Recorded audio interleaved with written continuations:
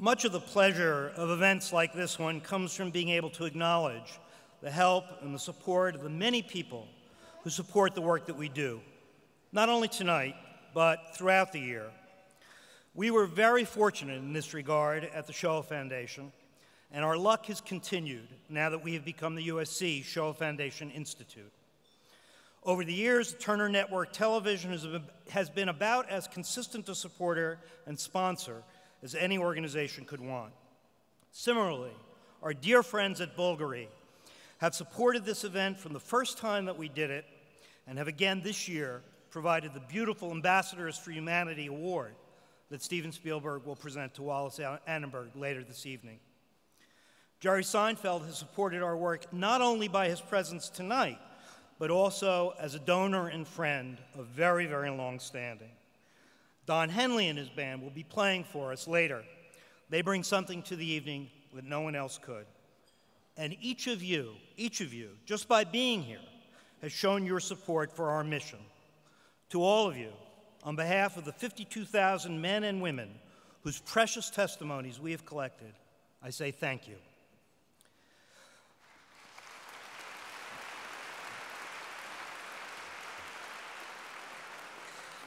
I didn't intend that as an applause line, but I'll take it.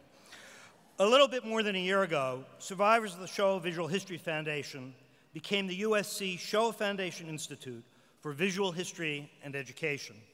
And we moved from a ragtag collection of trailers that some of you saw at Universal Studios to the magnificent Leavey Library here at USC.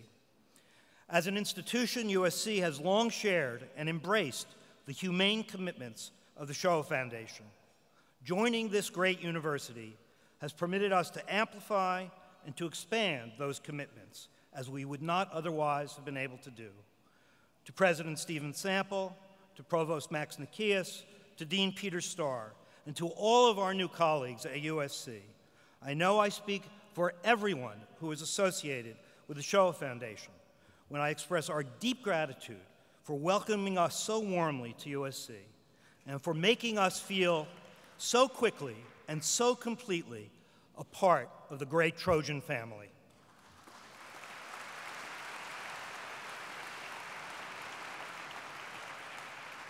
There could be no better academic home for the Shoah Foundation Institute than the University of Southern California, and we feel fortunate every day to be here.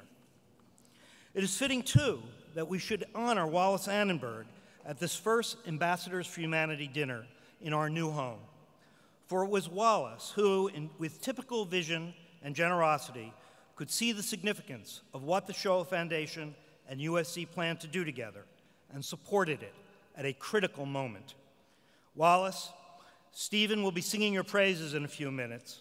For now, I want only to say that it has been an honor for me to work with you these past few years and to have the benefit of your wisdom and your support. All of us here are in your debt not only for what you have done for this organization and for this organization and, and for this university, but for our city, our country, and our world. 13 years ago, a small group of dedicated young people, or at least they were young then, led by June Beallor, James Moll, and Ari Zev,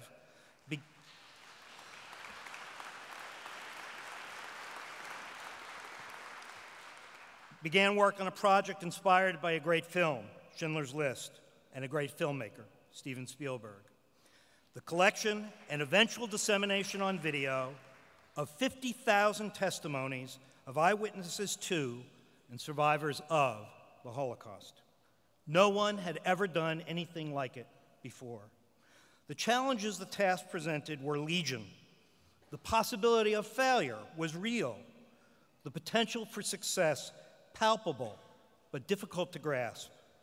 Today, almost exactly 13 years later to the day, that project has become the USC Shoah Foundation Institute, and it holds 52,000 testimonies in 32 languages, collected in 56 countries, almost 120,000 hours of ordinary human faces and ordinary human voices describing survival in the most extraordinary and inhuman of circumstances.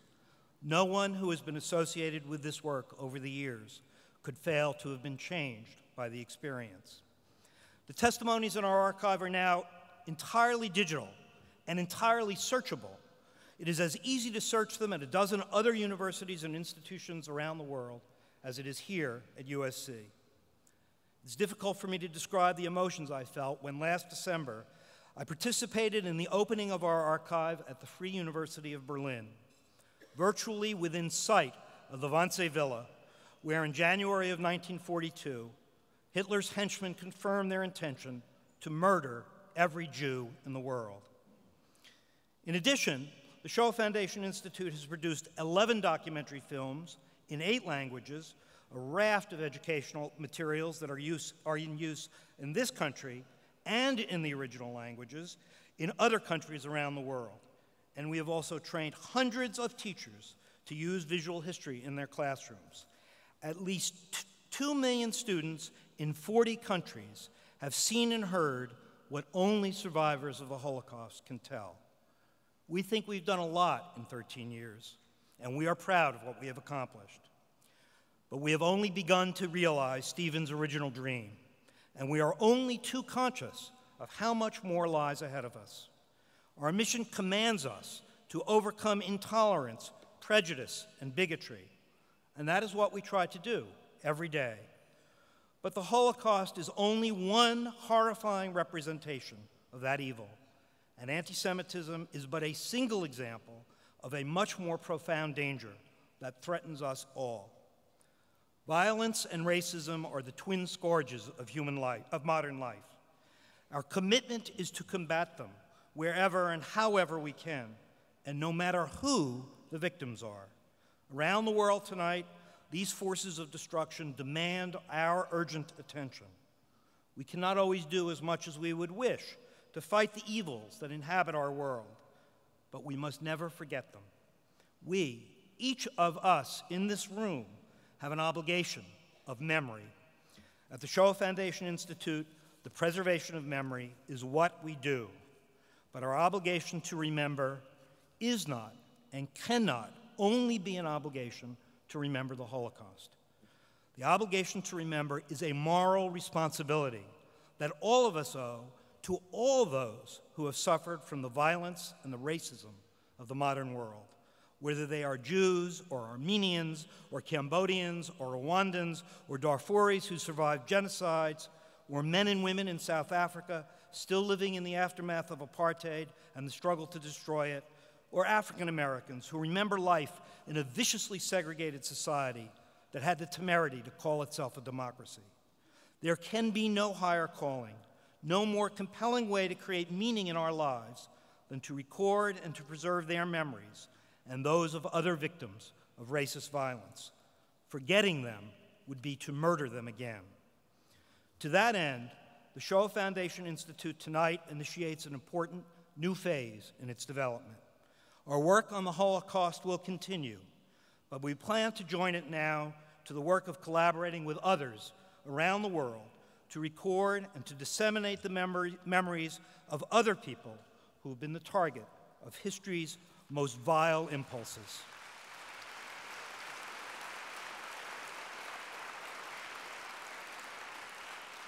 Whoever those people may be and wherever they may live. With generous support from some of you in this room, we have begun very promising conversations with friends and colleagues in South Africa, in Rwanda, and in Cambodia. But the work is vast, the work is essential, and the work is global. It may take us back to Europe, or to Latin America, or to Asia, or to Africa, or it may take us to the Indian reservations and streets of our own country. But at the USC Shoah Foundation Institute, we know that we have a unique opportunity, an opportunity no other generation in human history has had, to record the faces and the voices of ordinary men and women for whom racism and violence are not vague, abstract historical shadows, but dark and painfully lived experience. Men and women whose life stories, if seen and heard, can change the world. Men and women whose fundamental identity is not Jewish or Christian or Muslim, not black or white or brown, but profoundly and completely human. This is the work to which we are dedicated, and it is the work in which we hope to enlist your encouragement and your support, not only because memory matters tonight, but because memory so deeply and so significantly matters to the entire human future. Yet memory that is recorded but unrevealed is not memory at all, it is forgetting. Fortunately, the world is full of young people for whom the recovery of memory is an essential part of their education, and some of them are students at USC. I was lucky enough to work with a group of them in a course that I taught last fall, and it is my very great pleasure, therefore, to introduce three students who grasped an opportunity not only to remember, but to share that memory with the wider world, an opportunity we at the USC Shoah Foundation Institute plan to extend to thousands and we hope millions of others. Ladies and gentlemen, it is my very great pleasure to introduce Darian Lopez, Rahim Parpia, and Emily Intersimone.